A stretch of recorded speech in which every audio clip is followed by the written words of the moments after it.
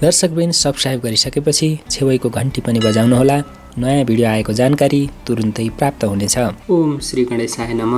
नमस्कार दर्शकवृन्द ज्योतिषशास्त्र सम्बन्धी जानकारी दिने च्यानल स्पिरिचुअल लाइफमा यहाँहरू सबैलाई स्वागत छ।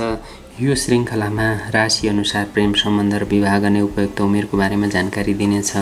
विवाह पश्चात पति पत्नी बीच गृह कलह र तनाव उत्पन्न नहोस् भनेर ज्योतिषशास्त्रले राशिको स्वभावका आधारमा प्रेम र वैवाहिक सम्बन्ध स्थापित गर्ने नियम बताएको छ।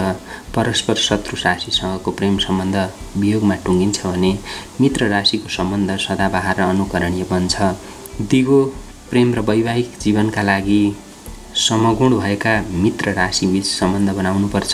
आउनुहोस् चर्चा गरौँ प्रेम र वैवाहिक सम्बन्ध कुन राशिसँग राम्रो हुन्छ त? राशिअनुसार प्रेम सम्बन्ध सुमधुर प्रेम र मित्रताका लागि मेष राशि हुनेहरूले मेष सिंह र धनु राशिसँग सम्बन्ध बनाउनु उपयुक्त हुन्छ।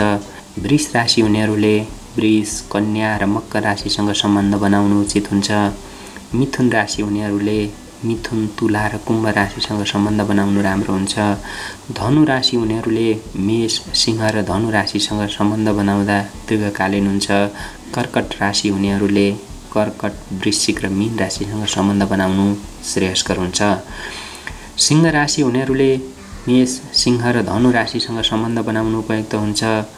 कन्या राशि हुनेहरूले वृष कन्या र मकर राशिसँग सम्बन्ध बनाउँदा शुभ हुन्छ। तुला राशि हुनेहरूले मिथुन तुला र कुम्भ राशिसँग सम्बन्ध बनाउनु उचित हुन्छ। वृश्चिक राशि हुनेहरूले कर्कट वृश्चिक र मीन राशिसँग सम्बन्ध बनाउँदा दीर्घकालीन हुन्छ। मकर राशि हुनेहरूले वृष कन्या र मकर राशिसँग सम्बन्ध बनाउनु उपयुक्त हुन्छ। कुम्भ राशि हुनेहरूले मिथुन तुला र कुम्भ राशिसँग सम्बन्ध बनाउनु श्रेयस्कर हुन्छ। मिन राशि हुनेहरूले कर्कट वृश्चिक र मिन राशिसँग सम्बन्ध बनाउनु उपयुक्त मानिन्छ।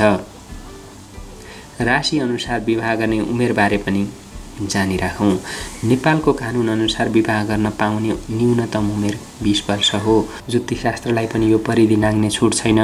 त्यसैले ज्योतिषशास्त्रअनुसार कुन राशिले कुन उमेरमा विवाह गर्ने भन्दा पनि उमेर बिस वर्ष नागेपछि ज्योतिषसँग परामर्श गर्ने जन्मकुण्डली अनुसार उपयुक्त समय कति उमेरमा मिल्छ सोही समयमा विवाह गर्नुभयो भने वैवाहिक जीवन सुखमय हुन्छ।